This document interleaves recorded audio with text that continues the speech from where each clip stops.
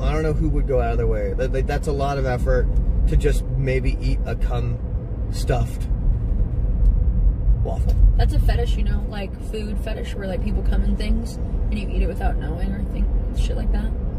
Without people, people eat it and they don't know.